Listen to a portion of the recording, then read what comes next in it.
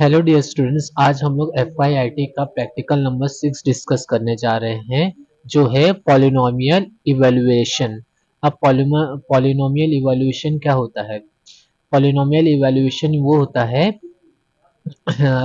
जैसे मैंने यहाँ पे एक्स आपको एक फ़ंक्शन दे दिया, जैसे आपको यहाँ पे दिख रहा है, ये three X three X cube minus four X plus two अभी हमें इस इस इस फ़ंक्शन में एफ़ ऑफ़ एक्स में एक्स की जगह अगर हम लोग ने टू पॉइंट फाइव रखा ये एक्स की जगह पे टू पॉइंट फाइव रखा तो ये आएगा टू पॉइंट फाइव का cube minus four into two point five plus four इसकी वैल्यू जो आएगी आ, वो हमें प्रिंट करना है। जैसे देखो यहाँ पे मुझे find the value of the following function at कौन से पॉइंट पे फाइंड करना है?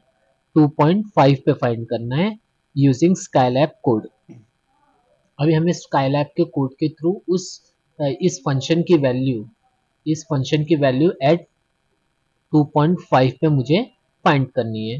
ठीक है? देखो, अब मैंने स्काईलैब इसका कोड यहाँ पे लिखा है।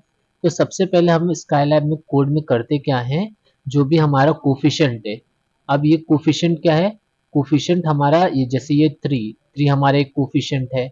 फोर हमारा एक कोफिशियंट है माइनस फोर और फिर क्या है? टू ये हमारे कोफिशियंट है तो इसलिए सबसे पहले हमारा देखो, यहाँ पे एक्स यहाँ पे हमारा कांस्टेंट पहला कोफिशियंट टू हमने यहाँ पे टू लिख दिया। फिर उसके बाद क्या है? माइनस फोर तो सेकेंड कोफिशियंट हमने माइनस फोर लिखा। फिर देखो, यहाँ पे एक्स स्क्वायर का टर्म नहीं है बीच में। तो एक्स स्क्वायर के टर्म की जगह का कोफिशियंट कुछ नहीं है तो नहीं है तो इसको हम ज़ीरो कंसिडर करेंगे। फिर अब यहाँ पे एक्स क्यूब एक्स क्यूब का कोफिशियंट क्या था?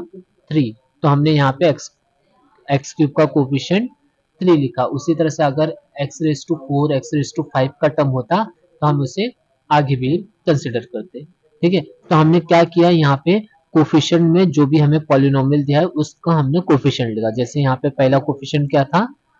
थ्री तो हमने यहाँ पे थ्री लिखा। फिर दूसरा एक्स स्क्वायर का कोफिशियंट क्या था? एक्स स्क्वायर यहाँ पे नहीं है तो हमने ज़ीरो लिखा।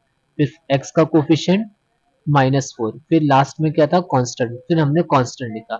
x की वैल्यू कितने? x is equal to two point five x की वैल्यू हमने टू पॉइंट फाइव पे फाइंड की। अभी रिज़ल्ट में हमें क्या प्रिंट कराना है? ज़ीरो रिज़ल्ट इक्वल टू हमें ज़ीरो अब हमने क्या किया? फॉर आई अब मैं यहाँ पे आई को वन से लेके length of the coefficient length of the coefficient मतलब ये कोफिशियंट है। कोफिशियंट का line one two three four तो आई हमारा कहाँ से वन से लेके फोर तक के नंबर ले रहा है।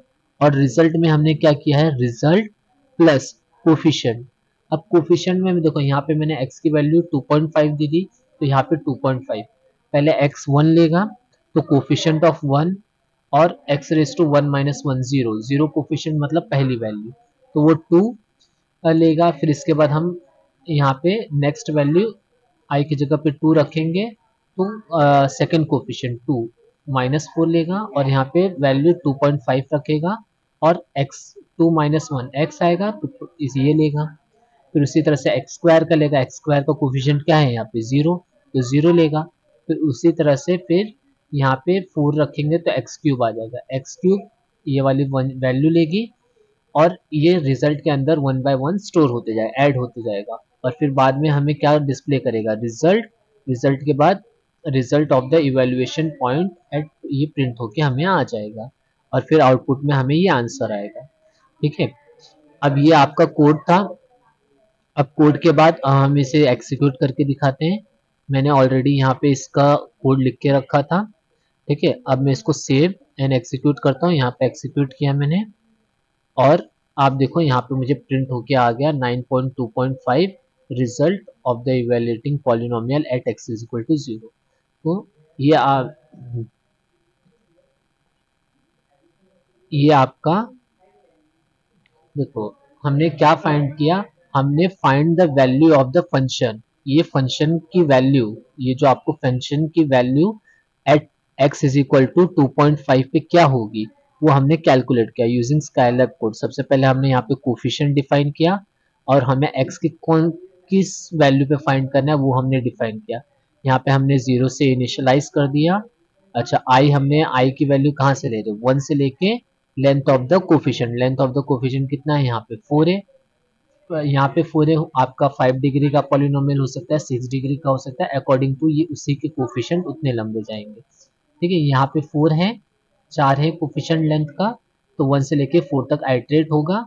और फिर ये one by one result store होते जाएगा और यहाँ पे प्रिंट करेगा, जो हमने अभी आउटपुट में देखा।